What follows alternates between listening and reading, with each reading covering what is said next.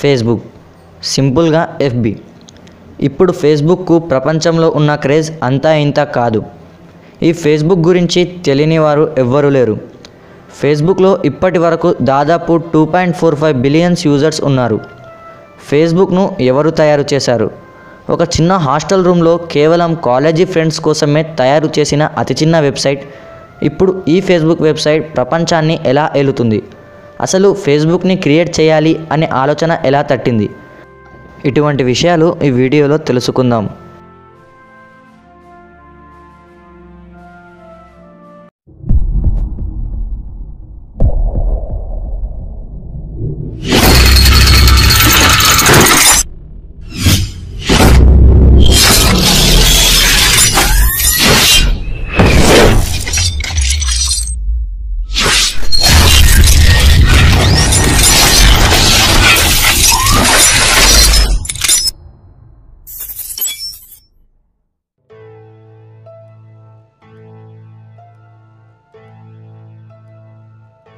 Mark Zuckerberg.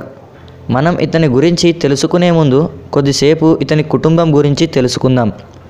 ఇతని తల్లి పేరు కరెన్ ఈమె సైకలాజిస్ట్. ఇతని తండ్రి పేరు అడ్వర్డ్ జుకర్బర్గ్ ఈయన ఒక డెంటిస్ట్.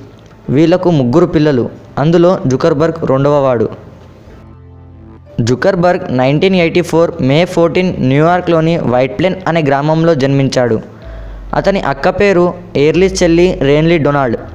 జూకర్బర్గ్ విషయానికి వస్తే తన చిన్నతనంలోనే చాలా తెలివిగా మరియు చదువులలో చురుగ్గా ఉండేవాడు. అలాగే ఆడ్లే స్కూల్లో చదువుకునేటప్పుడు వివిధ భాషల్లో మంచి నైపుణ్యాన్ని సంపాదించాడు. అయితే జుకర్బర్గ్కు తన చిన్నతనం నుండి కంప్యూటర్ ప్రోగ్రామింగ్లో ఇష్టం ఉండేది. ఇది గమనించిన తన తండ్రి అడ్వర్డ్ జుకర్బర్గ్కు వచ్చిన అటారీ బేసిక్ను జుకర్బర్గ్కు నేర్పించి డేవిడ్ అనే ఒక కంప్యూటర్ ప్రోగ్రామర్తో ప్రైవేట్గా పాఠాలు చెప్పించేవాడు. జుకర్బర్గ్ కొన్ని రోజుల్లోనే మాస్టర్ కంటే స్పీడ్గా ప్రోగ్రామర్ని రాయగలిగే స్థాయికి ఎదిగిపోయాడు. తనకు టైం దొరికినప్పుడల్లా ప్రోగ్రామర్పై కూర్చునేవాడు.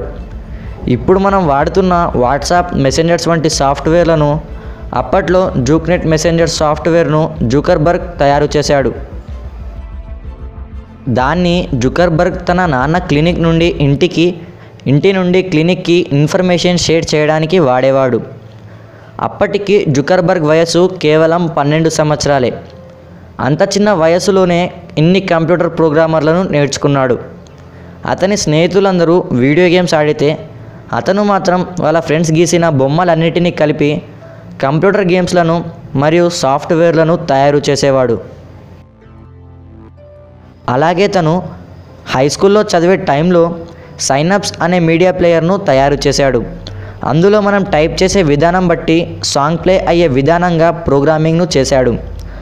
అంతేకాకుండా ఏఓఎల్ మైక్రోసాఫ్ట్ వంటి పెద్ద పెద్ద కంపెనీలు ఈ మీడియా ప్లేయర్ను కొన్ని లక్షలకు పెట్టి కొన్నారు.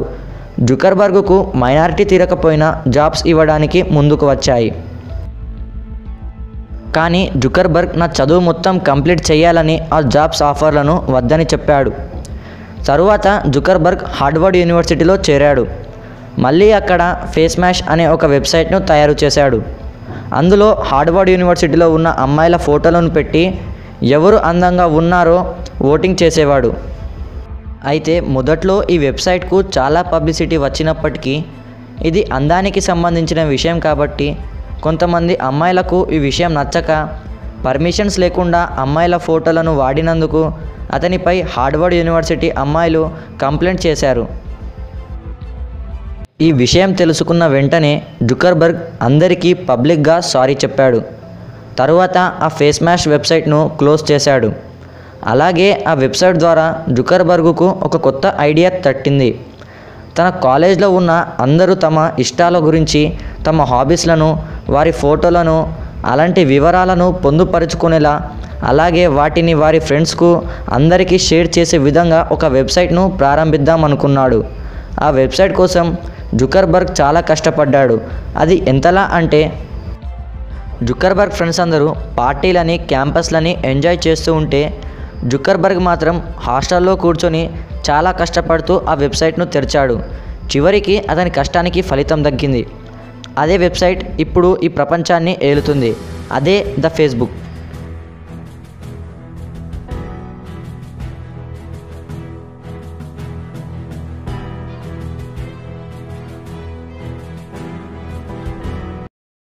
ఇది తెరిచిన కొన్ని రోజుల్లోనే వారి కాలేజ్లో మంచి స్పందన వచ్చింది. జుకర్బర్గ్ ఇటువంటి వెబ్సైట్లను అన్ని కాలేజ్లో ఉంటే బాగుండు అని అనుకొని ఆ వెబ్సైట్లను అన్ని కాలేజ్లోకి అమలు చేశాడు. రోజురోజుకు ఈ ద ఫేస్బుక్ వాడే స్టూడెంట్ల సంఖ్య పెరుగుతూ వస్తుంది. అయితే జుకర్బర్గ్కు దీన్ని ఇంకా అభివృద్ధి చేయాలని థాట్ వచ్చింది. టైం సరిపోక జుకర్బర్గ్ హార్వర్డ్ యూనివర్సిటీ కాలేజ్ను మానేసి పూర్తి సమయాన్ని ఈ వెబ్సైట్పై పెట్టాడు. తరువాత ద ఫేస్బుక్లో దాన్ని తీసేసి కేవలం ఫేస్బుక్గా దీనిని మార్చాడు. ఇలా రెండు వేల నాలుగో సంవత్సరంలో ఫేస్బుక్ అందరూ యూజ్ చేసే విధంగా ప్రపంచంలో వచ్చింది. రెండు వేల నాలుగు నవంబర్ కల్లా ఫేస్బుక్లో పది లక్షల యూజర్లు చేరారు. ఇంత యూజర్లు కేవలం ఫేస్బుక్ వచ్చిన ఎనిమిది నెలల్లోనే అయ్యారు. ఫేస్బుక్ ఊహించని విధంగా ఒక చిక్కు వచ్చింది.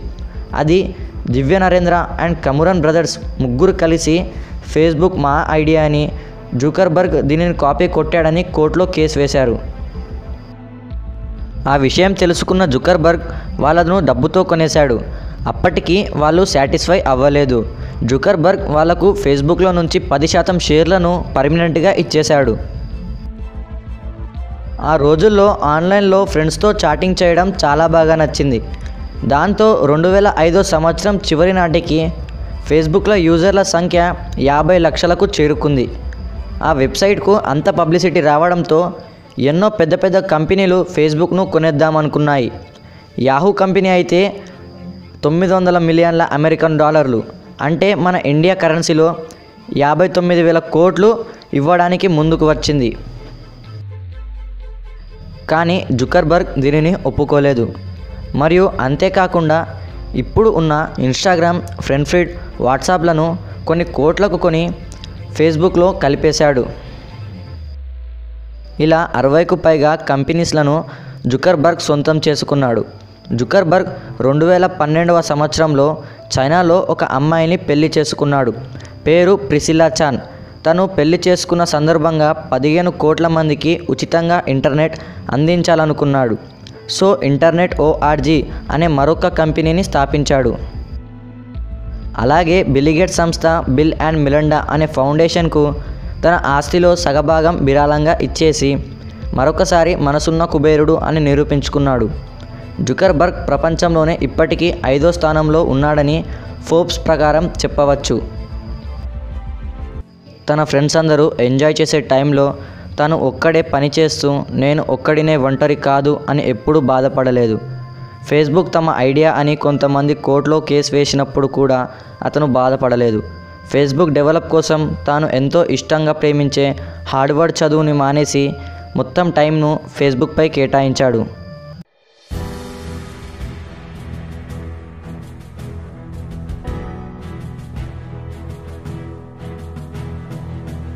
ఎన్ని సమస్యలు ఓడ్చుకున్నాడు కాబట్టి ఇప్పుడు అంతమందికి ఆదర్శంగా నిలిచాడు జుకర్బర్గ్. జుకర్బర్గ్ మానేసిన కాలేజ్ ప్రిన్సిపల్ తనకు ఒక మీటింగ్లో రమ్మని పిలిచాడు. దాంతో జుకర్బర్గ్ నాకు చదువు లేదు నాది డిగ్రీ కూడా పూర్తి కాలేదు నేను మీ కాలేజ్కి రాగలనా? అని అన్నాడు. ఏం పర్వాలేదు మేము నీకు మీటింగ్లో డిగ్రీ సర్టిఫికేట్ ఇస్తామని అన్నారు. దీంతో జుకర్బర్గ్ ఒప్పుకొని ఆ మీటింగ్కు వెళ్ళాడు. జీవితంలో పైకి రావాలంటే పట్టుదల ఉండాలని చదువే కాకుండా మన తెలివితో కూడా మన పేరు ఒక స్థాయికి వస్తుందని జుకర్బర్గ్ మరొకసారి నిరూపించాడు. అందుకే ఇప్పుడు ప్రపంచవ్యాప్తంగా జుకర్బర్గ్ ఒక బ్రాండ్ అయింది. మీకు తెలియని ఒక ఫేస్బుక్ ఫ్యాక్ట్ ఉంది. అదే మీరు ఎప్పుడన్నా గమనించారో లేదు ఫేస్బుక్ అంతా వైట్లో ఉండి మిగతా భాగం మొత్తం బ్లూలో ఉంటుంది ఎందుకు? ఎందుకంటే జుకర్బర్గ్ ఒక కలర్ బ్లైండ్నెస్ డిసీజ్ అనేది ఉంది. ఈ డిసీజ్ ఉన్నవాళ్ళు గ్రీన్ అండ్ రెడ్ కలర్లను ఎక్కువ బ్రైట్గా చూడలేరు. అందుకే జుకర్బర్గ్ ఫేస్బుక్ ఐకాన్ను బ్లూ అండ్ వైట్గా ప్రోగ్రామింగ్ చేశాడు.